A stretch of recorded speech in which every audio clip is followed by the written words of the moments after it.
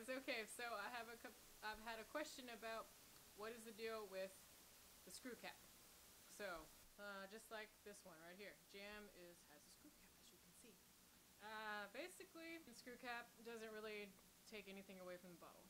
It used to be that oh, if it was a screw cap back in the old days, that you know is a poor wine. As you can tell, that is no longer the case. Basically, everything's gonna go to screw cap before you know it, and then probably gonna go to box wine. Who knows?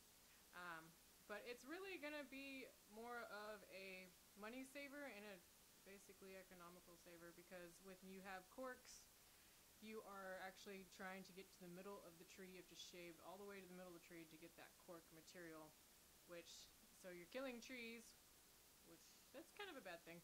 Um, and the screw cap also is a little bit cheaper, and plus you can store it on its side once it's been opened. See, I mean, I turn it on its side, nothing's happening. This has been open already.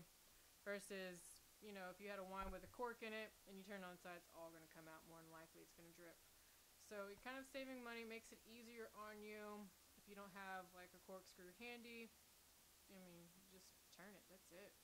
Uh, so basically, in a nutshell, it doesn't take away from the wine whatsoever.